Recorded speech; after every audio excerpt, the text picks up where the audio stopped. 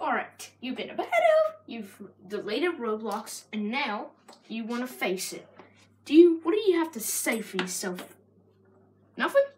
Want to know something? You stole my turkey chicken yesterday, and I ran out of food. Do you know what this means? Yeah, you pooped on the cookies. What do you, how do you like that? Huh? Huh? Good. You should stay there. You stay there.